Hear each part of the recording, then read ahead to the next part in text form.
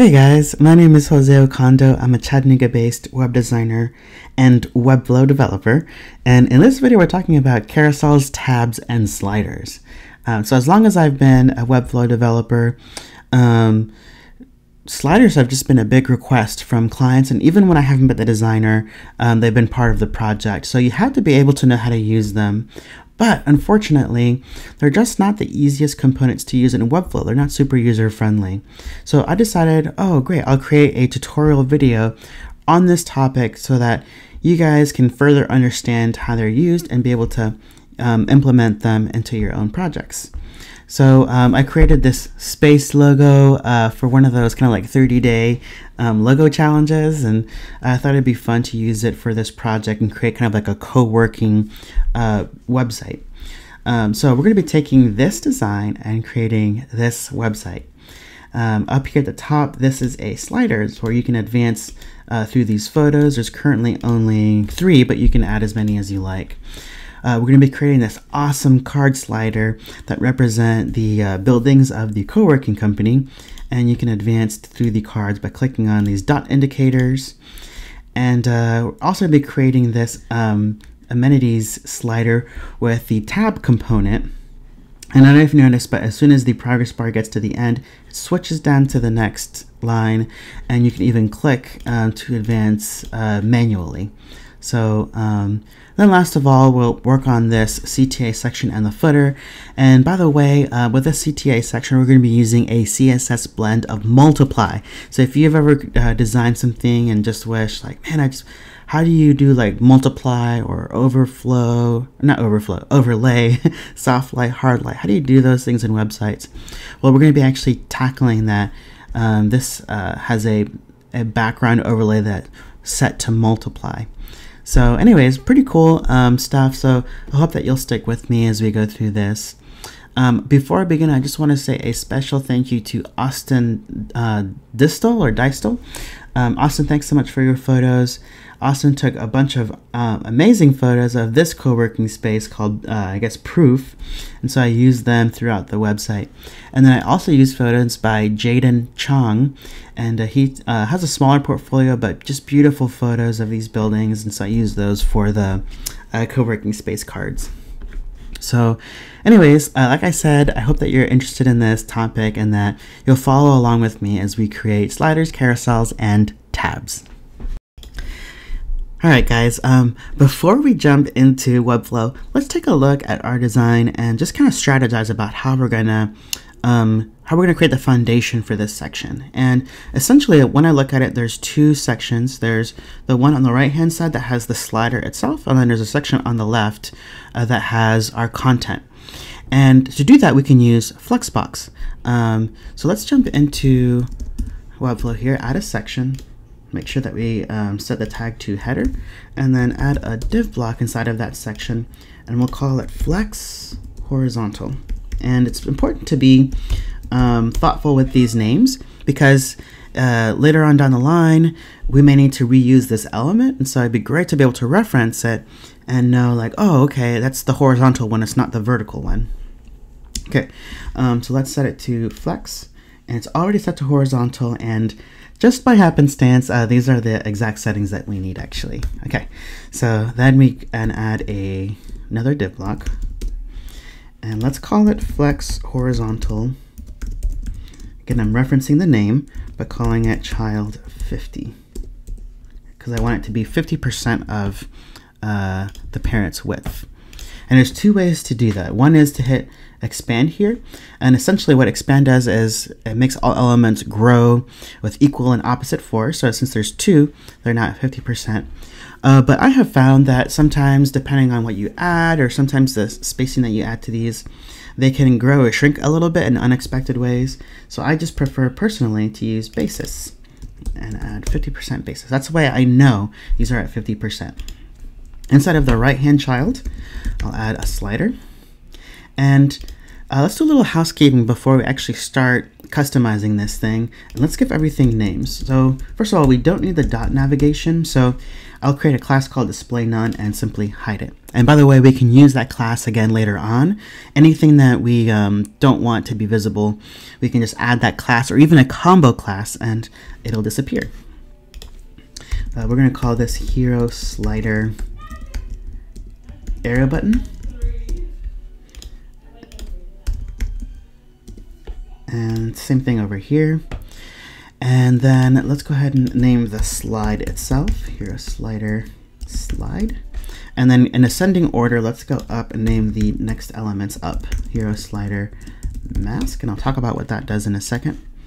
And then last but not least, the hero slider itself. Inside of the slide, let's add an image. And we'll call this hero slider image. Not getting too creative here. Uh, let's go ahead and pick out our image that we need. And uh, with this selected, let's give it a width of 100% and a height of 600 pixels. And doing that because uh, my design calls for a height of 600 pixels.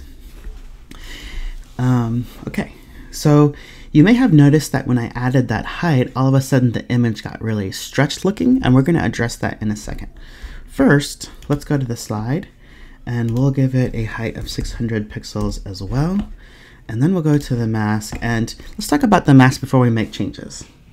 So the purpose of the mask is essentially to reveal only the active slide. Um, kind of works like masks in Photoshop or Sketch, where if you put something inside of a mask, if even if that object exceeds the boundaries of the mask, you only see what's inside of the mask. Um, so for example, let's say I set the height of the mask to 200 pixels. Uh, well, we're only going to see the 200 pixels of the image. So if I set it to 600, we're now seeing uh, the image itself.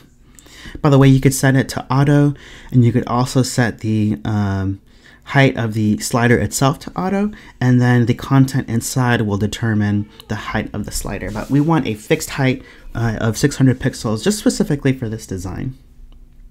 All right, now let's talk about the image. Now you see it's a little bit stretched, especially when you look like right here. But let's say I set this to like 200 pixels. It looks really stretched and super ugly. so let's address that. Let's add some uh, custom code um, to make sure that our image looks good.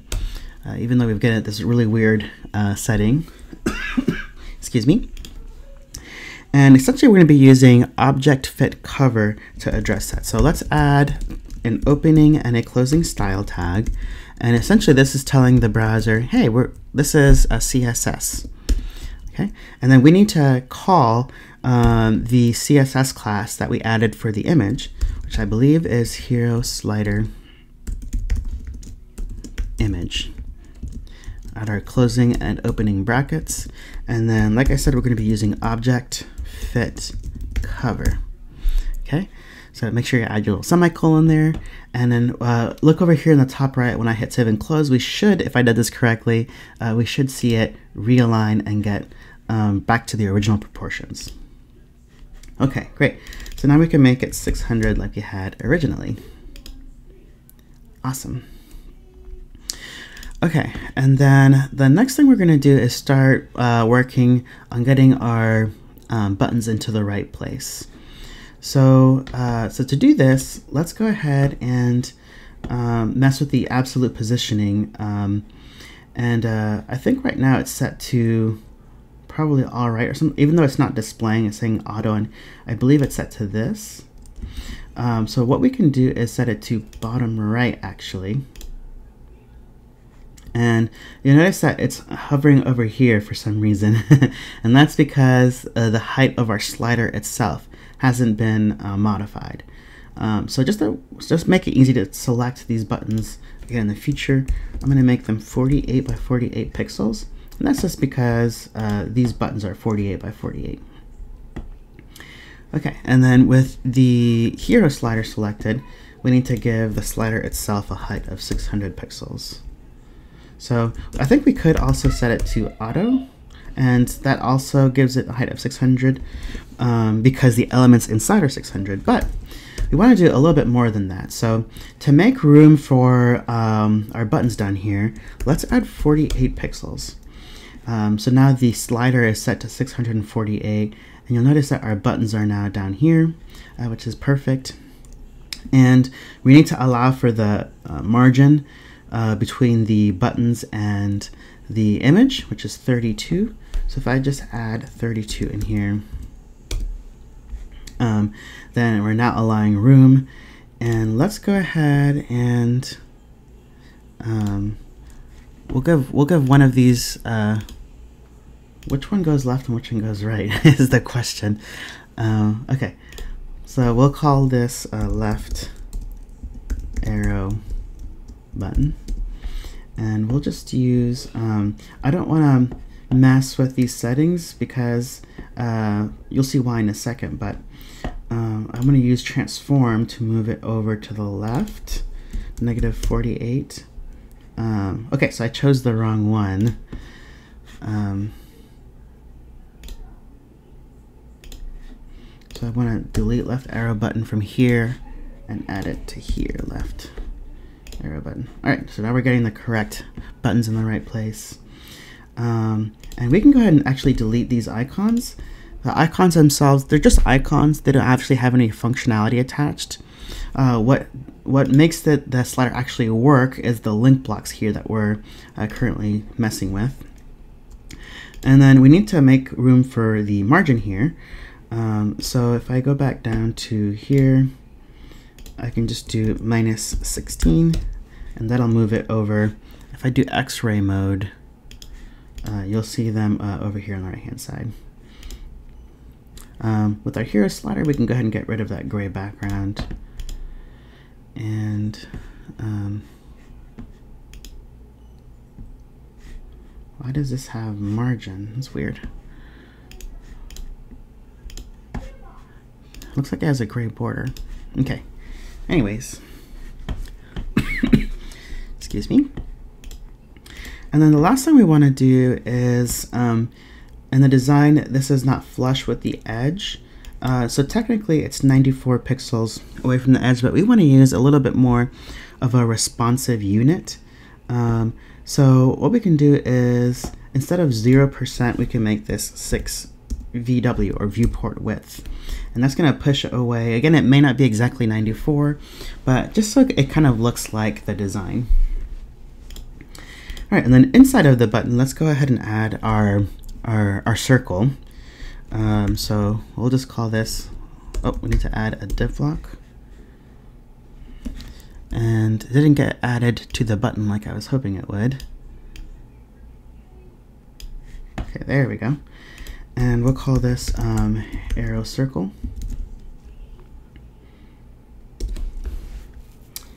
Um, give it a border of 2 pixels with our brand blue and same height uh, as these link blocks 48 by 48 um, and the reason I'm not applying these settings to the buttons themselves is let's say that I want to reuse this arrow circle later on. Um, I might. Um, I don't want all this absolute positioning type stuff uh, to get added to them all right and then if I disable x-ray mode, you'll notice that it's currently a box. and that's because uh, I need to make my uh, corner radius 50%. By the way, that only works if um, it's a perfect square. Uh, otherwise, uh, you get kind of this weird, uh, more oval shape than you do a circle. Okay, and then I can just duplicate that into this one. And then let's go ahead and add our actual arrow. And with the arrow circle, just to make sure that this is a little bit off kilter, uh, we can use Flexbox to get it uh, right in the middle. Let's give this a name too. We'll call it arrow circle arrow. Um, and then we'll copy and duplicate. And we need to give this, we need to declare either a width or a height um, so that the browser knows how to show this SVG. Um, so I'm going to use 24 pixels. Um, it was displaying correctly, but there are some browsers where if you don't declare a width or a height, uh, then your SVG doesn't show up at all. It just looks invisible. Um, so you had to make sure that you declare uh, a width or a height. And then we'll call this uh, left arrow. And we'll just use transform, rotate, and rotate it on Z by 180 degrees. Okay, so I think that does it for the actual arrows. So if we click on here, this is working correctly.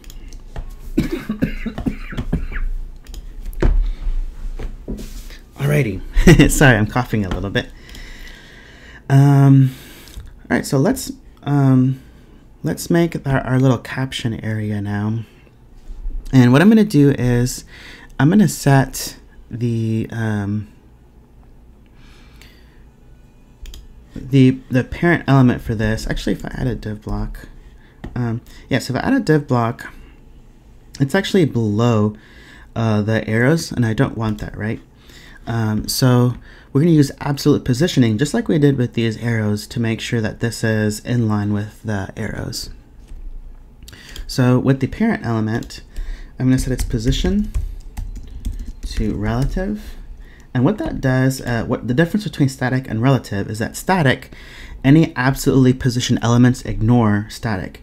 But if um, if a parent element has relative attached to it, then that absolute positioning now it kind of treats it as its master and it says, okay, I'm positioned according to you. So um, we'll call this uh, hero slider uh, caption wrapper. Position absolute, like I was just saying, and look down here, it's targeting that flex child fit. That's because we set it to position relative. And uh, we want to set it to bottom left. We also want to give it a height and width of 48 pixels. And um, now we're in line with our buttons. So um, I want to make sure we're going to use Flexbox to create this so that this line kind of expands or minimizes. So the way we can do that is um, we know that this is set to uh, the button is moved over 6 VW, right? Um, whoops, I can't click.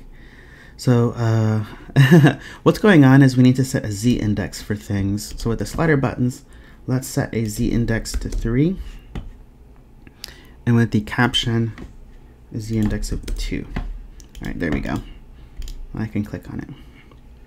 So Z index is kind of like telling you, uh, kind of like the pecking order of things, and something with a higher Z index will be above things with a lower Z index. So I want to make sure that the buttons are the highest so that nothing interferes with the functionality of moving the slider back and forth.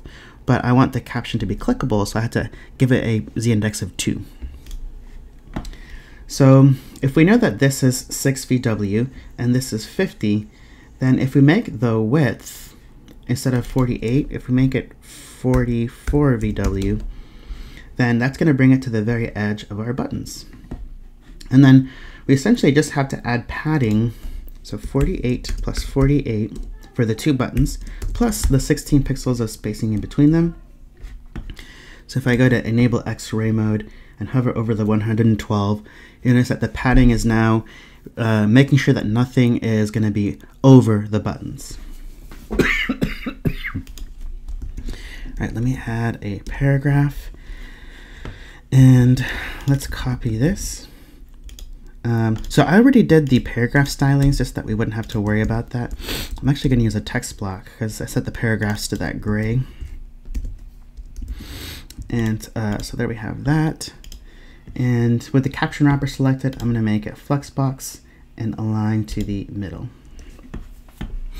Okay. Um, this particular text is a little bit bigger than normal paragraphs, so we'll create a new class called paragraph jumbo. And I think it's 18 instead of 16. Okay, and and then um, I think it's set to medium as opposed to regular. Yes.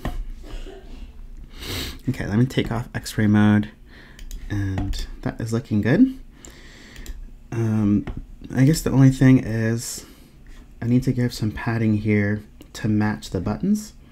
So we'll do 6VW. And then we'll add a new div block. And this is going to be our HR, so we'll call it HR gray. And we'll set, uh, set it to expand. Um, it's going to be a height of 2 pixels, and it's going to be our dark value at 12%. All right, so now we've got the HR line um, and uh, by the way, HR is in HTML uh, how you introduce a line like this. Um, of course, I'm using um, a div block and not an HR, but anyways, um, I think the spacing was um, supposed to be 24. So we can just add that margin on either side, 24, 24, oops.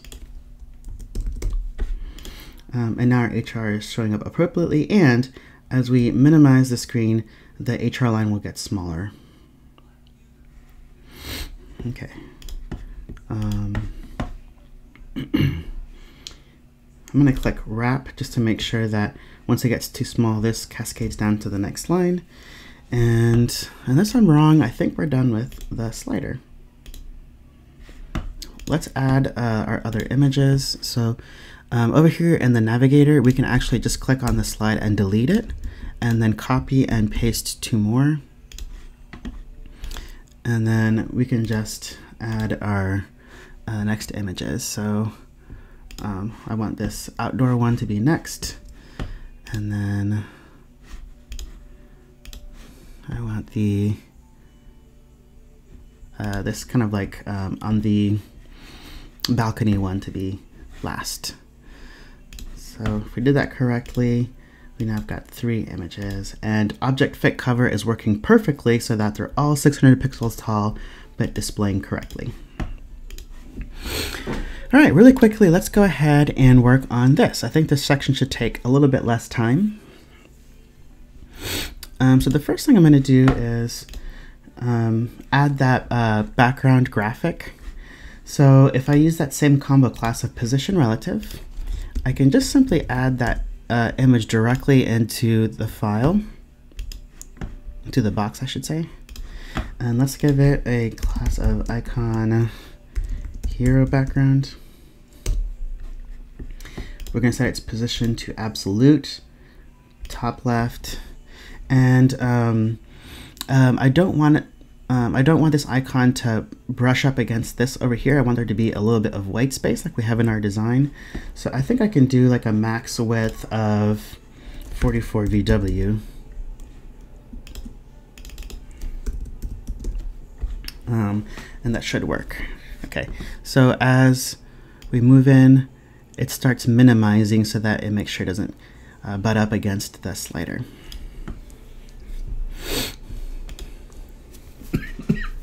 Okay, um, next let's add our content and we'll work on the navigation last. Um, so we'll add another div block. Um, I don't think they got added into the right place. So let's move it over this way. There we go. And we'll call this um, hero content wrapper. Set its positioning to absolute, full, and then we'll use Flexbox uh, to align it vertically uh, in the middle. Okay, so then we can add um, uh, another box, div block, and this is going to be, um, uh, oops, it's not inside of, there we go. Now it's responding correctly.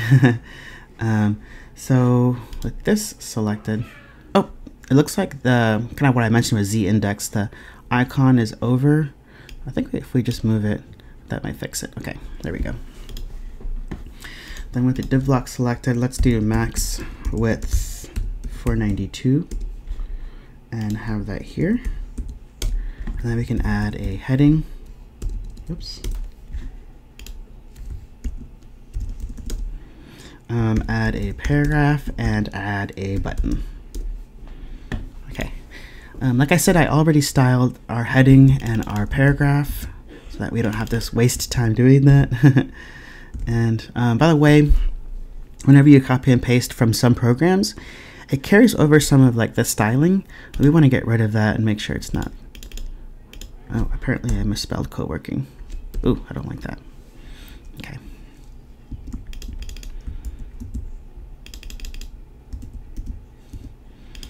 All right, but we do need to style our button. And so let's style the, the text itself first. So I think the only difference is that it's uh, semi-bold. So if I just move it from normal to semi-bold, uh, that should be working great.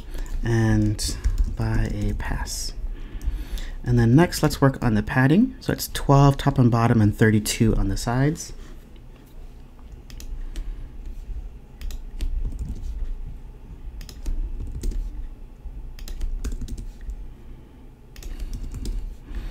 We need to make it the background color our um, our blue, our brand blue. And then to get those um, that kind of like pill, what is it called? Pillbox? Um, uh, we can just give it a radius of something ridiculous like 100 and it'll give us that circular uh, side. And then we got to make sure we have the right um, margin and that's 24. This has uh, it picks 10 pixels of margin automatically, paragraphs do. So if we just add 14, um, that'll give us the total of 24 that we need. Okay, and then there's a little bit of a shadow, actually not a little bit, a lot of it. Um, so we need to add these three uh, drop shadows down here. And the reason I use three is because um, it makes a little bit more of a realistic looking shadow. It's just a little bit softer and, uh, like I said, more realistic. So uh, uh zero in this case is 180 so that it points directly down. And then it's uh, 1, 2. And our dark value at 14. I'll add one more. And this one is 048. So 180 four, eight, and our dark value at 12%. And then finally, one more with um, 1632.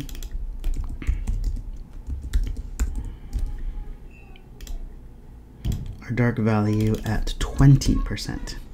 Alright, so that created a nice soft looking shadow for our button. Let's give it a hover state and then hover, I want it to go to our darker blue. Okay, and previously for lengths, I set border color, font color, and background color to all have a transition of 200 milliseconds with ease. And that means that when we hover over it, it'll kind of ease into that background color nicely.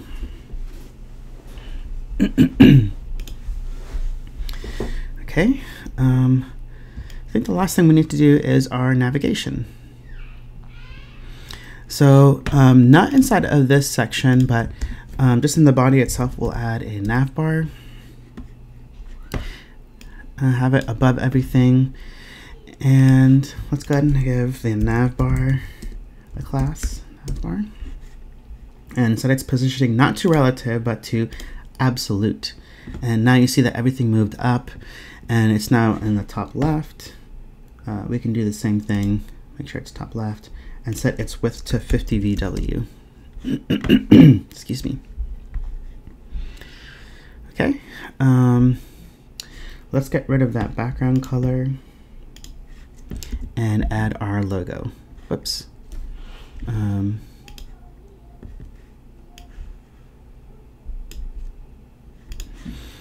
let's give our logo a class and I think it's 40 pixels tall. There we go. And then in terms of spacing, there's 24 pixels of spacing on top and 40 on the left. So we can just add that directly to our nav bar. So 24, 40. And then um, let's go ahead and get rid of the container because we don't really need it. Get rid of that container. Then with the nav bar selected, use Flexbox, align everything in the middle and to the left. All right, then let's work on these nav links. And I think they're almost, they're at 16. The only difference is they're semi-bold and they're blue.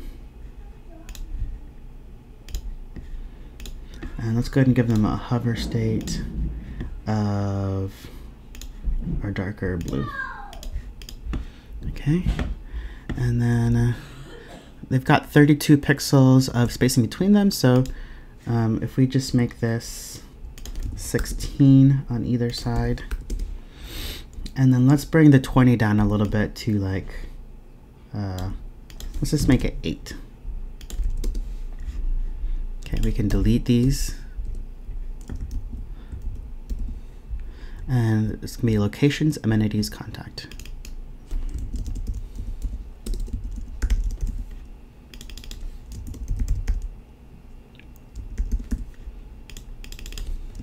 Amenities is really tough to spell. okay. And with nav menu, let's add maybe, um, I think in this design, I basically uh, aligned it to the middle of this thing. Or maybe I didn't. Um, but I'd rather use uh, just spacing to the left of this. So let's try 32 to start out with, and that looks pretty good. Um, all right, let's expand here. And, oops, not that I'm seeing it. I think 32 uh, is maybe too little. So let's try 40, or maybe 48.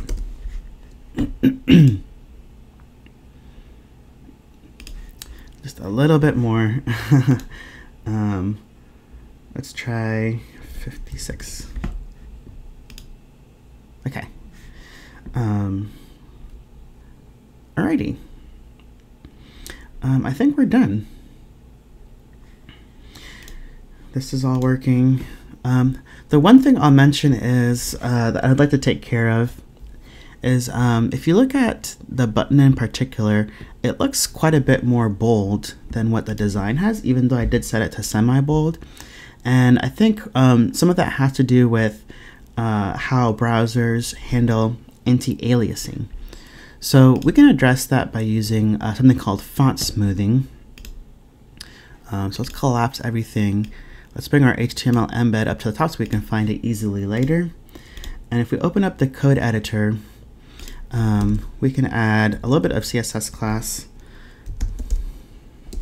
a little bit of custom code I meant to say. And um, I've got it saved up here. We want to use WebKit font smoothing anti-aliased. Okay, so if I did this correctly, uh, if you look over here um, at this heading, when I hit save and close, you should say it get kind of a little bit cleaned up. So not a huge effect, but now the button is looking really, really good. I feel like it actually looks how it's supposed to, and um, everything is looking good. All right, so in the next section of this tutorial, we're going to be creating this cool card slider that represents the um, locations of our co-working space. So stick around and uh, um, follow along with me as I create this card slider. All right, welcome back. We're now entering section two of our tutorial, and we're going to be building out this fun card slider. And I just have to apologize. I'm having some trouble with my throat, so hopefully I won't cough too much. All right, so here uh, with our body selected, we'll add another section and let's give it a class of section. and um, if I'm remembering correctly, there's about 80 pixels of spacing between sections. Um, so we can add that here. And then we can add a combo class of uh, light blue. And that will be our background color and then there's 80 pixels of um, padding on top and bottom inside of the section itself. Okay, so inside of here, let's add a div block and we'll call this text align center. And essentially what we're doing is we're positioning the elements in the middle of the screen. So if I add our image, it's not showing up in the middle, and it's gonna be this thing. And if I add a heading and make it H2, uh, it's showing up in the middle as well.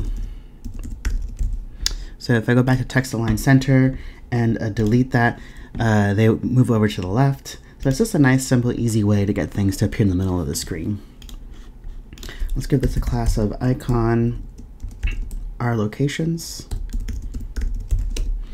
And I can't remember how big it is. Uh, 46 pixels wide. Am I recording? Yes, okay. Freaked out for a second. Okay. Um, not inside of the text align center, but in the section, I want to add our slider. And let's do the same thing that we did uh, previously. So for example, we don't need these arrows, so we can just add our display none class that we added previously. Um, we can take our uh, dot navigation and just call it a card slider dot navigation or dot nav I guess is fine and card slider slide. And again, in ascending order, just naming everything. Card, slider, mask, and finally, card slider. okay. So now what's different about this is that we want all of the slides to appear together on the same screen. Um, so what we're going to do is with the card slider slide, give this a width of 344 pixels. Um, and we can just give uh, this next one over here the same uh, CSS class. Let's go ahead and push everything over 40 pixels. And then uh, remember the mask, the purpose of the mask is to reveal only the current slide. Um, and so like if we add a couple of these, um, the issue is that we're only getting one dot. Uh, you can't see them, but there's three, um, there's three slides.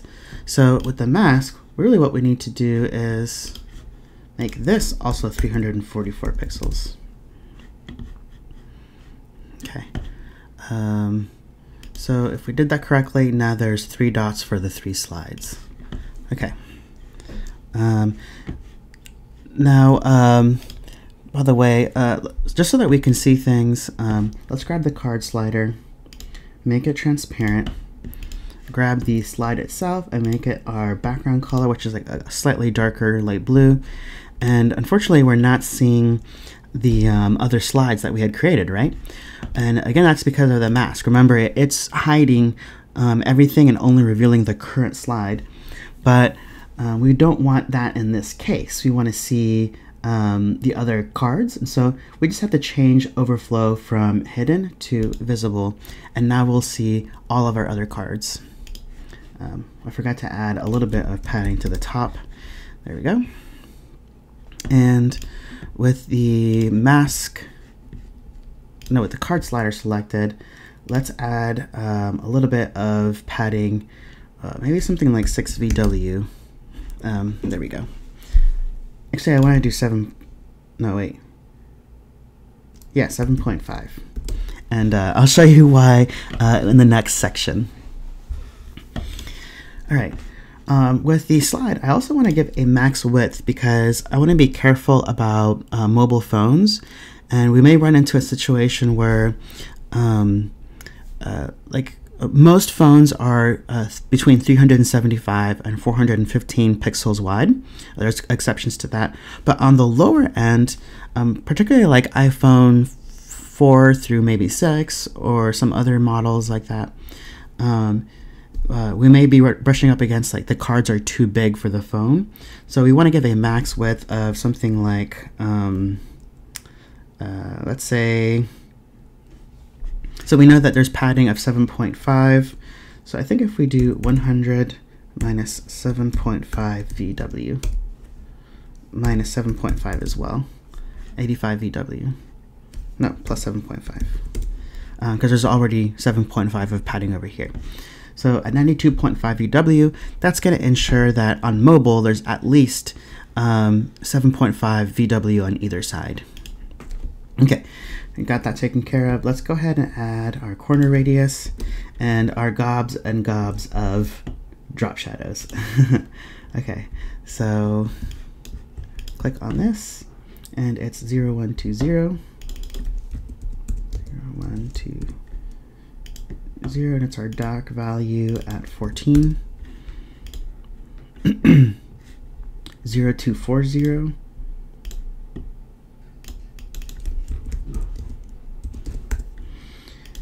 and our dark value at 12 and last but not least 480 so you notice this is a little bit smaller than uh, the button shadow. I just wanted this to be a little bit more subtle alrighty and there we are Okay. Um, okay, so next is um, adding the image.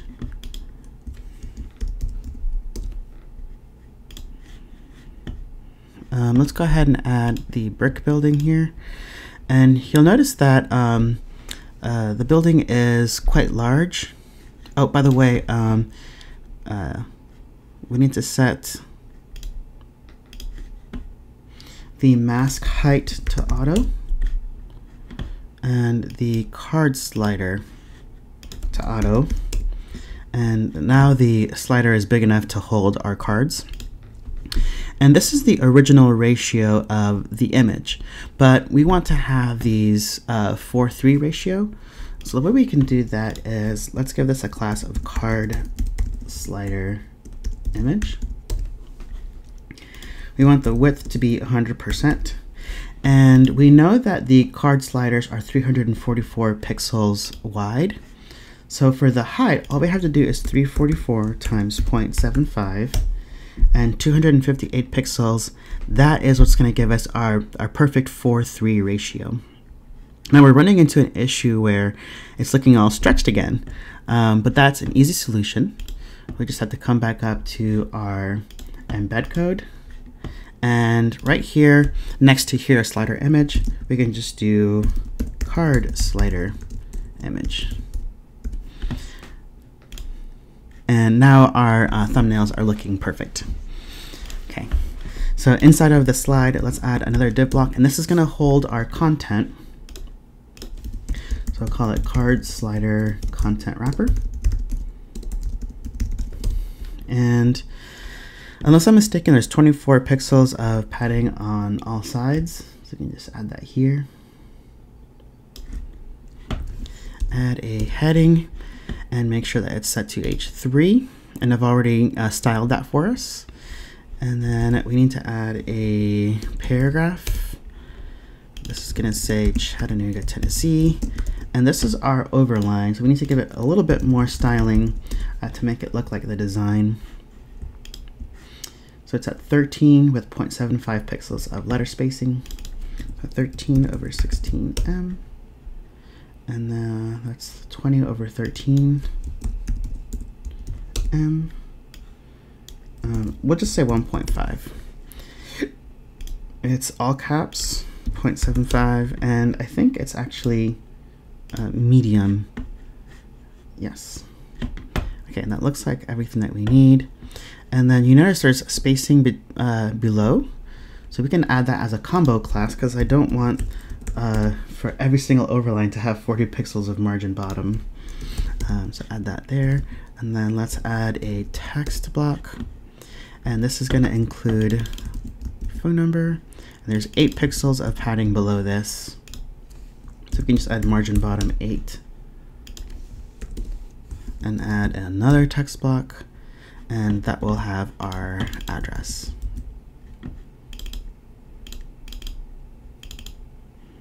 Oops.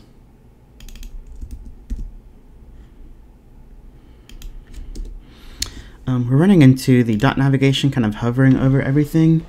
Um, so let's go ahead and change that. And an easy fix is change the positioning from absolute. Again, it's hovering over things because it's kind of in its own dimension to static and now it's below um, uh, it's below the uh, cards like we want them to be. Okay. Um, let's uh, actually change this to invert colors just so we can see them and we'll eventually change this. And they're currently not centered because there's 7.5 uh, VW of padding over here. So if we just add that over here on this hand side uh, it'll not be nice and centered okay um, so this is Loveman building And unless I'm wrong, I think we're done with the card. Okay, so now all we gotta do is copy and paste this a couple times. Two, three, four. And let's replace these images really quickly. Um, I love this image. This is so cool looking. Um, this one and this one. I want to make sure I didn't reuse any images. Alrighty. And then just to kind of like give the appearance of um, there being multiples, I'm just going to add two copies of each slide. So we should have eight total. Um, perfect. Okay. So I think all we have left to do is to finish configuring the slider dots. Um, so the first thing let's check out is the padding on top. So if I click that, um, instead of 10, this should be 40. Oh. Um, what if we kept it at 10 and did 30? Here we go. And um, I think that's it except for changing the colors. Okay, so for the colors, this gets a little bit tricky. And by the way, um, to change the colors or if you want to have them have like a border color instead of a fill, you can do all of that, but it requires a little bit of custom code. So what we need to do is first, we need to make sure that invert color is deselected. I know it's really hard to see them now, um, but when you have invert color selected, it kind of messes with this a little bit. We need to go ahead and publish this. Okay, and then if I right click on one of the inactive dots and hit inspect, um, then we pull up the slider dots here and we can figure out what is the class name that we need to identify. And by the way, if I click on this, um, just to test it out and make sure we're getting the right thing, um, we can always like change this to zero, zero, zero, um, and you'll see that we're affecting the background color of the slider dot. So, so this class right here, W slider dot, is exactly what we need to address. So go back to here, activate our embed code, open it up, and add a new class here. And we need to add our dot to affect the class. Open and close brackets. And basically we just want to affect the background color. And let's set it to uh, blue for now, just to make sure that um, we're actually affecting the correct thing. Ah, so here. Um, so now we know that we have the correct color. And if I go over here, I can steal the hex code for this. And we need to add um, our hashtag there. And I know it's at opacity 54%. And when you're writing CSS, you use um, decimal percentages, so 0.54. All right. But obviously we haven't affected our active dot. Um, so the way we do that is if I right click on the active dot, hit inspect again, um, I can look see how this one has a combo class attached to it. Excuse me. So I just copied that, opened the code editor, and then um, we need to copy the uh, thing above because this is a combo class, right? And then add a dot and W active. And then let's copy this stuff. And our background color is going to be our uh, brand blue. and opacity will be 1. Alright, so now our primary dot has the correct blue. By the way, you can affect the size of the dots. Like I said, you can make them have a color. You can get rid of the corner radius. Whatever you want to do, uh, you have to be using custom code, but you can you can manipulate the dot. And I think I, wa I want them to be a little bit more spread out. So instead of three, let's do eight. Oop, that's too much. Maybe six, okay. Um, I think the last thing we need to do is, um, if I scroll to the right, we're getting this um, unfortunate horizontal scroll. Um, it's really, really ugly and uh, is poor development. so the way we fix that is with overflow hidden. So with our um, section selected, I'm going to add a combo class called overflow hidden. and over here in overflow, just click the icon with the eye that has the line going through it. And now I can't scroll to the right. Excuse me, guys. All right, so that does it for this section of the tutorial. So in the next one, we're going to be creating this really fun um, tabbed uh, autoplay where you can click on these elements to get the photo to change and it has a timer so it changes on its own. So stick around and join me for the next section. Guys, welcome back to section three. In this section, we're going to be tackling this really fun um, kind of like a feature list using the tabs component. Um, it is going to get a little bit complicated with absolute positioning and how we do that, um, but I'll try to take it slow and make sure that you guys can follow along. One little bit of housekeeping is I noticed that um, even though these have a corner radius of 4, the images do not. And so easy fix for that is with the slide selected, just give it a overflow hidden, and now even the images have that nice curved uh, edge like we want. All right, so let's move on with body selected. Let's add a new section. Give it that same class of section that we created previously.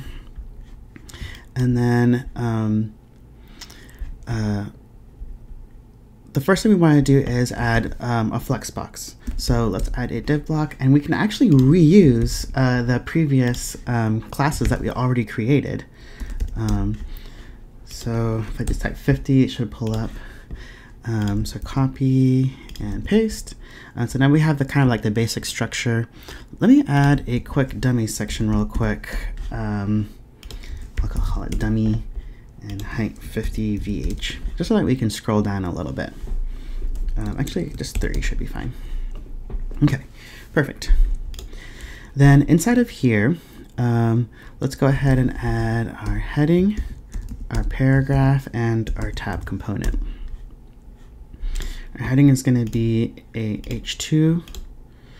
And, um, you know, actually, I think I need to add a div block to add all these things in because we're going to be using some max width. Um, make sure. Okay. So with this selected, I want to add padding left of 6 to kind of mimic what we did before. Um, so 6 VW. And over here, you notice it has a max width of 493. So with that div block that we added, I can simply do max width 493. Okay, awesome. Um, this is going to be amenities, if I can spell it and this is just a little bit of uh, hipster lorem ipsum. I like using hipster lorem ipsum when I need to. Uh, this kind of makes it fun. And um, then we can start working on styling this. First, though, uh, let's go ahead and get this image to appear over here. And um, what I was running into when I was kind of preparing this tutorial was that um, it would be easy if I could just click tabs, make tabs a Flexbox, have the content on the left and the links on the right hand side. But the issue that we have is that you can't put any non-tab link items inside of the tabs component. And that makes sense. Webflow is trying to protect the integrity of this component so that they don't break when you're trying to use them. But it does make it a little bit challenging to figure out, okay, how do we do this particular um, layout. so, uh, so we have to do a, a, few things. So inside of, um, well, the first thing we're going to do is with the flex horizontal, we're going to make this position relative. And that means that we're going to try to get the image to the top left corner of here by referencing this uh, item. And then inside of the child 50, we're going to add a div block and name it placeholder image placeholder image. I'm not going to do anything with it right now just so I can show you guys what I mean.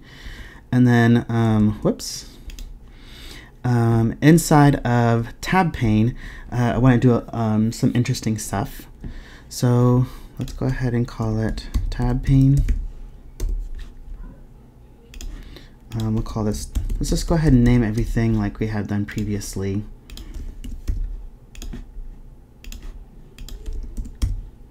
I think we need another tab. Um,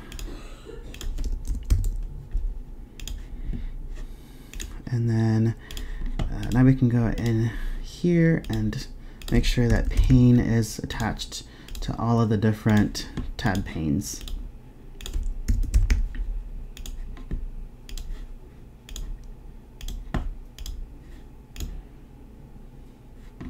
Uh, oops, there we go. Okay, and then I think we still have to name the tab menu. Tabs menu. And let's go ahead and give our tabs a class as well, or simply tabs. Okay, then inside of, well, the tab pane, um, let's go ahead and add our image. And the first one is like the podcasting studio, which I think is this one. Okay, and um, I think what I'd like to do is content tab pane. I think tab pane, I want to um, set the image ratio here. So we can do height 0 pixels, padding of 75%. Okay, and then with the image selected, we can do uh, tabs image. We can do uh, position absolute full um, and height 100%. Uh, I always do that. and let's make width 100% just to um, keep it from having funky weirdness. okay, and we're having the same issue with that stretched imageness, um, but we can do the same thing by going up to uh, up here, tabs, image. Oops, I forgot the period at the front. And this should now be uh, looking correct. And then with tabs content, this is what we want to absolute position to the top left. Um, so tabs, content, position absolute. Um, I think it's going to be up here, maybe, oh, I don't know where it is. Um, actually, if I give this a uh, width of 100%, okay, it's still down there. If I do top left, um,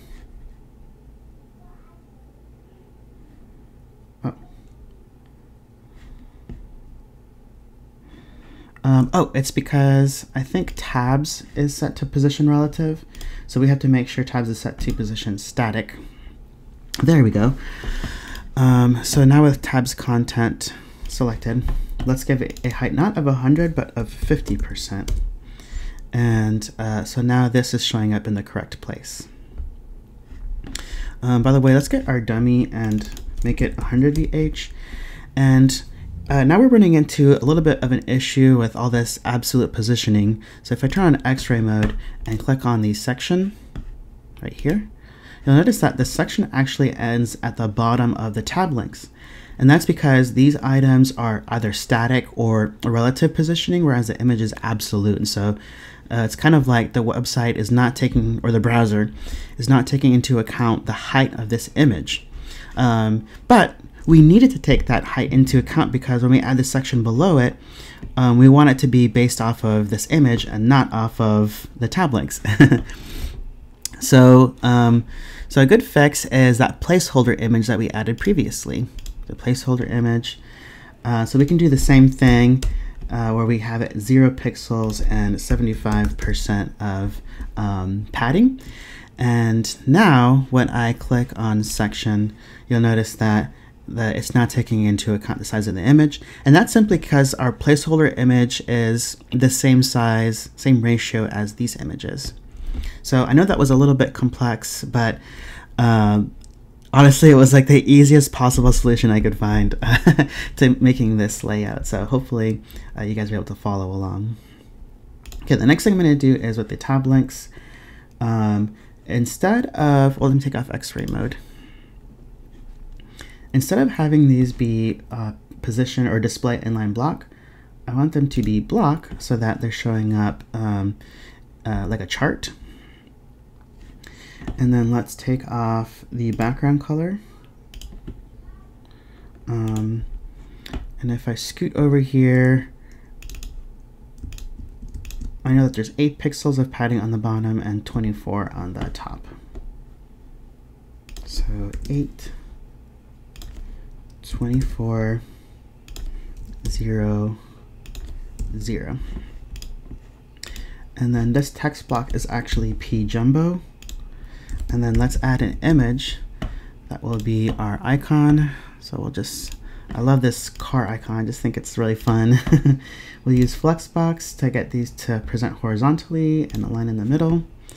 Uh, let's move over this one to the right hand side. And then let's give this a class of icon uh, amenities. Amenities icon. And it'll have padding of 8 on the right and I think 16 on the right. Okay. And um,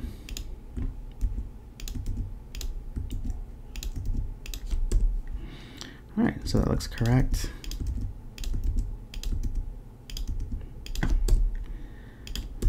Okay. And the reason that this still has a background gray is because it's got a state of current. Um, so we just got to take off, even though that says transparent, um, we have to re kind of redo the transparency there. Oh, we forgot the um, border bottom. So one pixel of our dark value at 12%. All right, so let's copy over dedicated podcasting studio.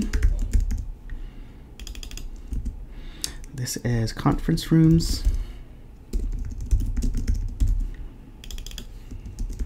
presentation space. And my personal favorite, assigned parking, which is what the car is for. All right, so let's replace these icons. This is the microphone. Uh, this is the conference table. And this is the podium. All right, um, next, let's go ahead and copy this image and in tab 1 paste it in our content and tab 2 which is conference rooms. Um, let's go ahead and change it to the conference room photo which I think is this one.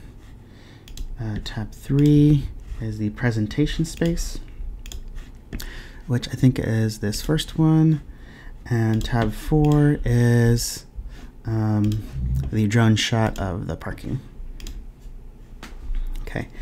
Then um, next thing I want to do is um, flex vertical align middle for a combo class. And we're going to use flexbox to align this in the middle and to the left.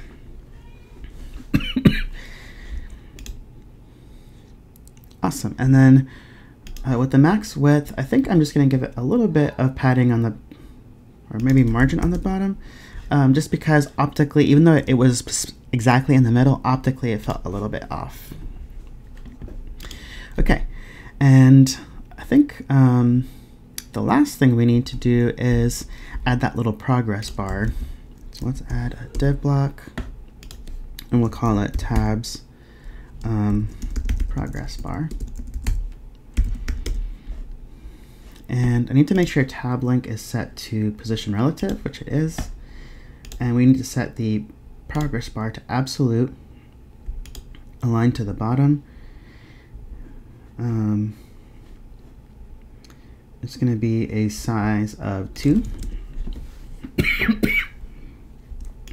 with a background of our blue. And let's just move it down like negative 1 pixels um, so that it's over the existing border. Okay, perfect. And let's go ahead and copy it to the other links. Excuse me. And now we get to have fun with animations. So uh, we're going to add an element trigger on tab change, start an animation, and oh, you can see that I was already messing with this earlier um, but we'll add a new one called tabs active. Select the progress bar and um, uh, use size. So for the initial state, I want the width to be zero. And then I want the size um, to go to auto uh, meaning like what it was originally, and I want it to take seven seconds. Um, so I think if we did that correctly, uh, it's not doing anything.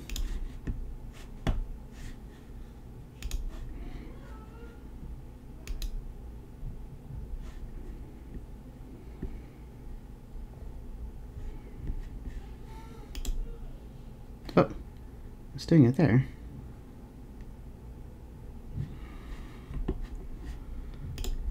Um,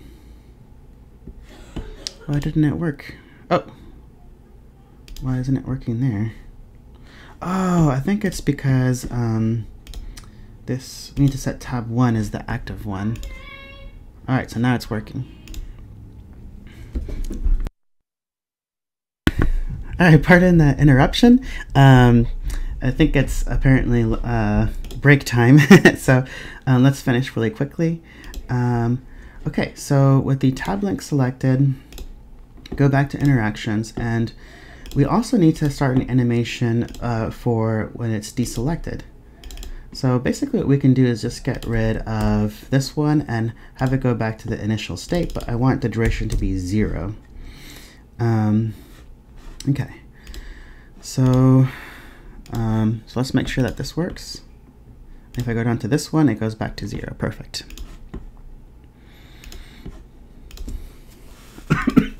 Now the way that we can apply this to all four of these is just by hitting class down here.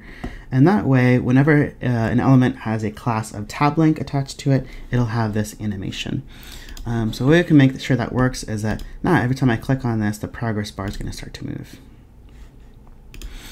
All right, and then um, to make kind of for the finishing touch, we're going to add the autoplay uh, to this, and this is a little bit of custom code and I found this on the Webflow forum, and the code came specifically from uh, Pepperclip. So, uh, Pepperclip, I'm not sure what your name is, but thank you. And um, we're just to copy this custom code here. And come over here, go to our pages, open up home, and we're going to want to paste this. Oops, I already did that apparently, but I want to paste this uh, here in the before body tag. And you'll notice a couple of things that um, tabs menu and tab link are um, addressed in this. So if you want this to work, you have to make sure that tab these um, these tab links and the tabs menu have the exact same name as uh, what's in the custom code. Otherwise, this won't work. Then um, I want to change this to 7,000, in other words, 7 seconds, uh, so it matches our progress bar. and uh, you can't you can't see custom code um, uh, here in the designer. So let's go ahead and publish this. And then on the live site, let's make sure that the tabs are working correctly.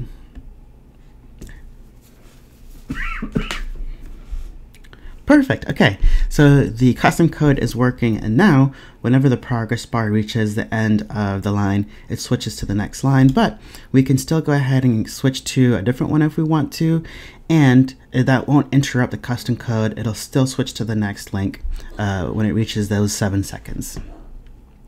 Um, all right, so that was the end of section three. And in the last section that should be a lot shorter, we're going to be finishing out with this um, call to action and the footer. And the call to action is going to be fun because we're going to be using uh, blend modes. So if you ever used uh, blend mode like multiply or uh, overlay or soft light, hard light, um, you can you can use those um, uh, in Webflow. Uh, we're going to be using a little bit of custom code, I keep saying that, um, to achieve that, but I wanted to show it to you guys because it's really helpful and fun to use, so stick around and join me for section 4. Alrighty, welcome to the fourth and hopefully final um, section of this tutorial.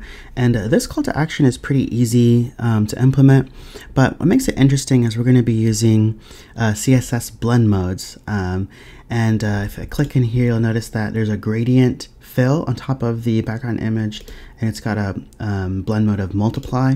And I want to be able to do that in my project so that uh, whenever the client uploads a new photo that multiply effect will always be there giving it that kind of like brand look.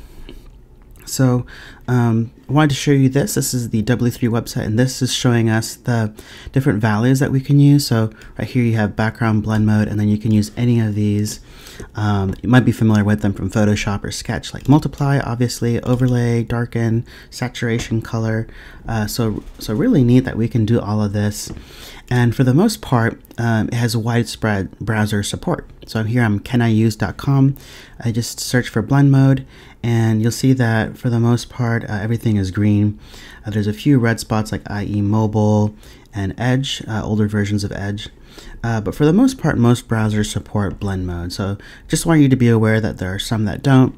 Um, so there's a little bit of catching up to do so. All right, let's get started by actually implementing this. So uh, we're going to add a new section. Oops.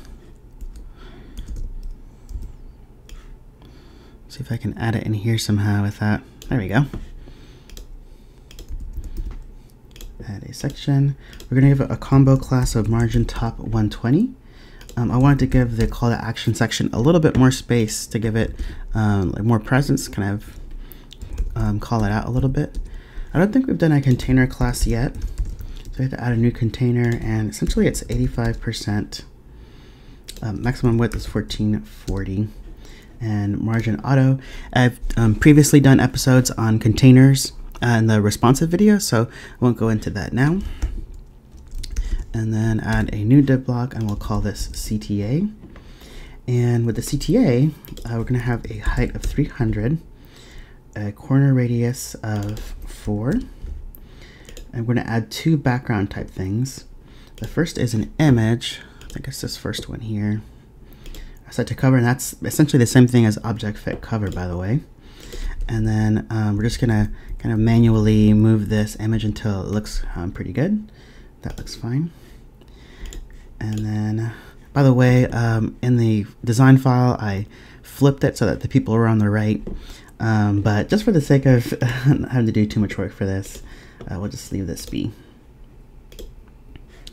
All right, so this is what it looks like without the um, without the multiply effect added. So I'm gonna go to HTML embed, scroll down so we can see our CTA, open the code editor, and um, if I add CTA here, and I stole this uh, earlier, but uh, this says background blend mode multiply. So if I did this correctly, hopefully you'll see this change.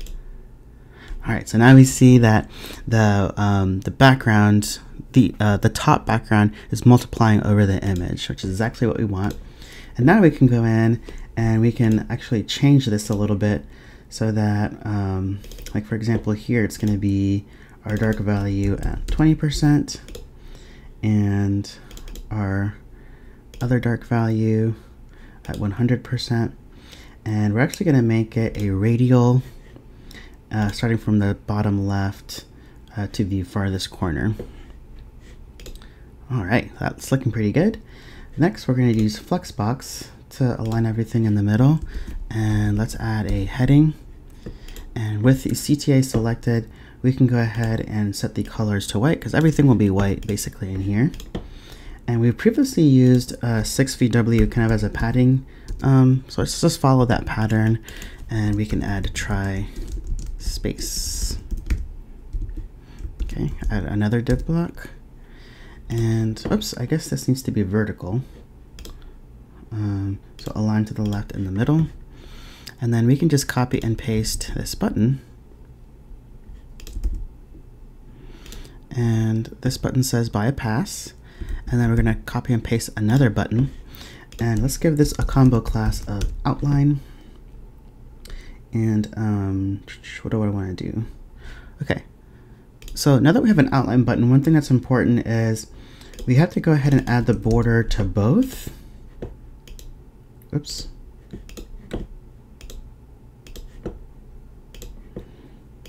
Otherwise, um, they'll look like they're different sizes. So with outline, I want the um, background to be transparent um, and everything else looks correct. But I will say on hover, I do want it to have that dark blue background. Okay, and then we'll add a margin left of 16 as a combo class because not um, probably not every outline button will have that margin left. And I think that might be it. Oh, the shadow. Um, let's go ahead and add that quickly. So, um, oops. I think it should be this one. So 0120.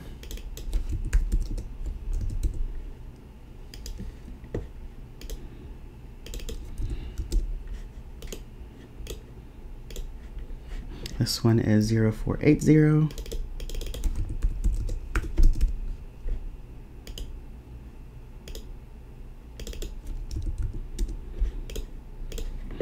then one last one that is 1632.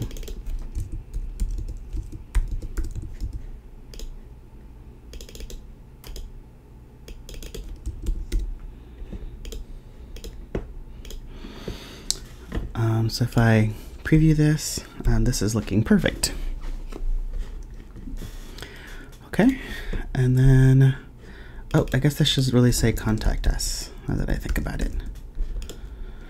Uh, the last thing we'll do is get rid of our dummy and um, of the body, we'll add a new section and we'll want to make sure this is called footer. And we'll add a class of section, light blue, and then margin top 120. And that still should carry over the, the settings that we need. Perfect.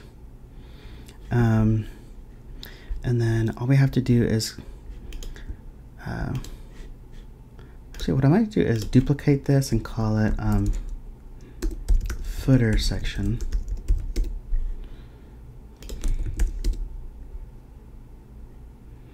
Because I think this is actually 40, not um, 80. Let's add our container. Oops.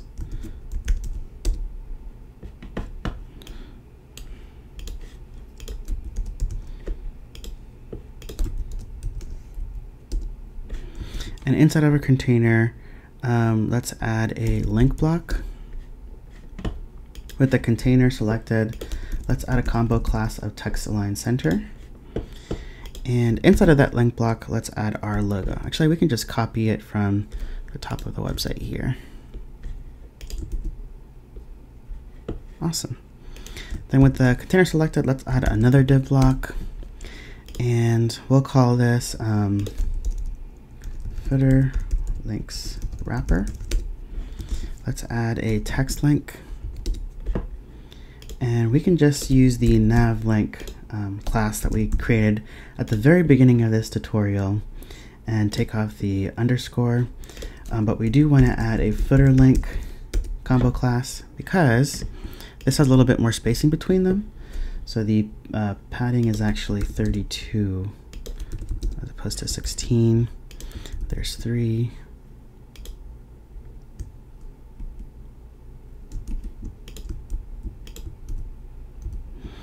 We go. With footer links wrapper, I believe that's a spacing of 40. I think. Yeah. Um, locations, amenities, contact.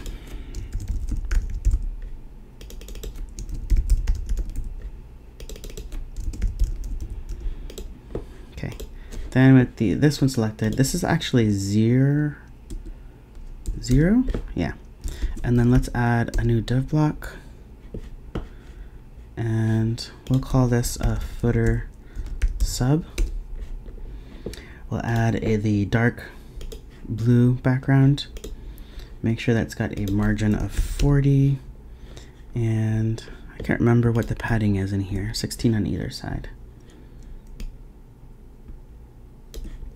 Alrighty, And then inside that, let's add a paragraph. Um, actually, no, that's wrong. Need to add a text link. Um, we can text align center. And let's steal this content. And we can call this uh, P2 for paragraph number two. And it's 14 over 16 M's um, 1.5 is fine. And let's take off the underscore, give it our 60% um, dark value, but I do want to give it a hover effect so that um, people know it's a link. So um, we'll give it our dark blue uh, on hover. Um, Okay, I think that does it for. I think we're done. Um, anyways, um, thank you if, if you're still with me uh, after I guess probably like an hour, hour and a half. If you're still with me into this tutorial, thank you so much for sticking uh, through it. I hope that the content was helpful to you and I hope that you now find it easier to implement sliders and tabs into your own projects. If it was, I hope that you'll consider subscribing um, to this channel. Um, I think I recently just hit 500 subscribers and so I was pretty excited about that and I really appreciate the support. I've had a lot of people leave comments about how helpful the tutorials were and that's really encouraging because obviously uh, doing this for free and just as a little passion project and so so your guys' encouragement means a lot. So thank you so much for that. And uh, again, I hope this was helpful, and I will see you guys in the next one.